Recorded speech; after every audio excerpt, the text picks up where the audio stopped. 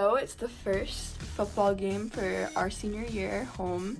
It's against Woonsocket. And tonight's teacher appreciation night.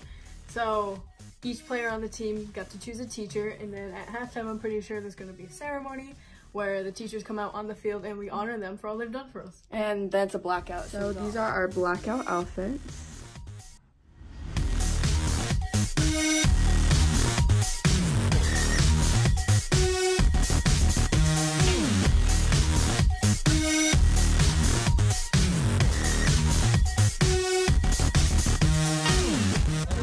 Let's go!